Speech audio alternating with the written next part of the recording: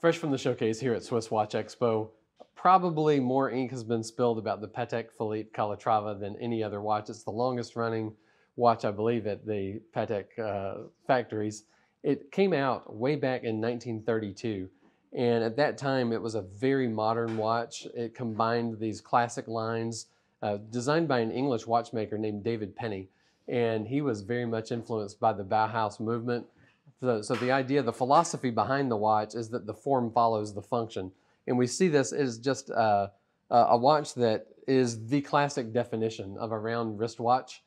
And uh, the problem with it for many years, though, is you're a watch guy, you like a mechanical movement, and you want to buy a nice watch for your girl, or you're a woman and you like mechanical watches, you think that they're fascinating, and yet most of what's out there for women nowadays is quartz. Even at Patek Philippe, a full 50% of what they produce is quartz movements.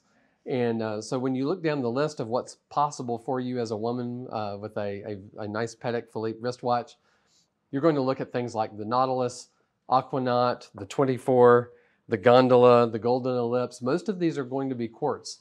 So in 2006, Patek Philippe decided to remedy this. They came out with this watch, uh, which is a 33 millimeter. At the time, the first one that came out um, was powered by the 215 hand, hand wound mechanical movement.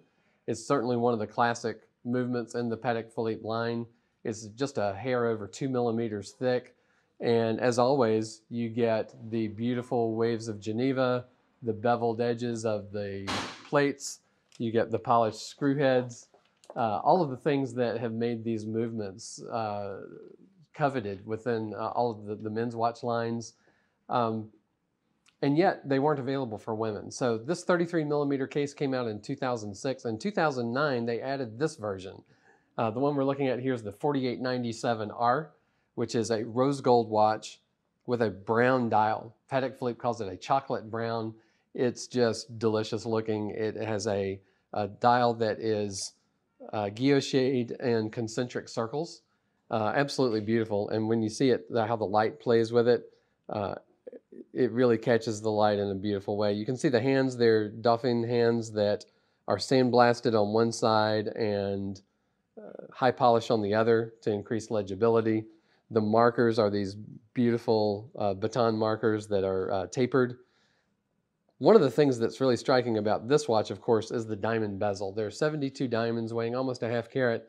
But here's one of the things that when people want to know what the difference is between Patek Philippe and other watch companies, um, according to the company, they only use internally flawless diamonds.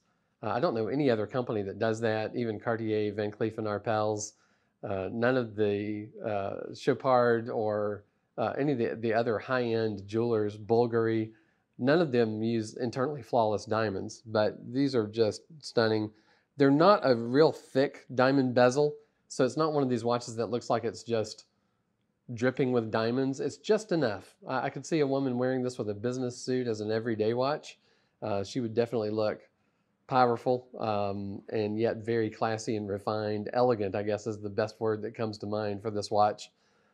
One of the things that makes the watch wearable every day is its thinness that comes from the movement. It adds probably an extra millimeter of thickness that the exhibition caseback shows off that beautiful movement.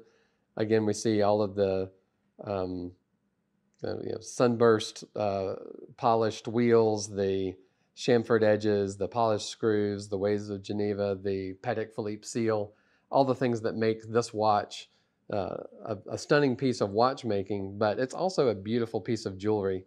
And uh, with the brown strap, the brown dial, the offset of the, the whiteness of the diamonds against the brown, it's such a beautiful contrast that I think it would be a, a great choice for any woman who is a fan of the mechanical watch, but finds their choices limited with other lines within Patek Philippe and certainly other watchmakers, uh, that this 33 millimeter hand wound mechanical one was probably going to be the very best choice. What we have here in stock today at Swiss Watch Expo could be gone by the time you're seeing this video. Give us a call. Uh, it's an unworn 2017 model, never been worn. Everything about it is absolutely pristine comes with the full box, uh, papers, booklets, all the, the full set of everything that you would expect. And uh, it's available at a huge discount off of the full retail price. So uh, click the, the like, click the subscribe, get our updates, see our YouTube channel, but um, give us a call and see what we have in stock for your lady or for yourself if you're shopping for yourself as uh, uh, someone who's a fan of the mechanical watch but would like a little bit of sparkle and femininity about your mechanical watch.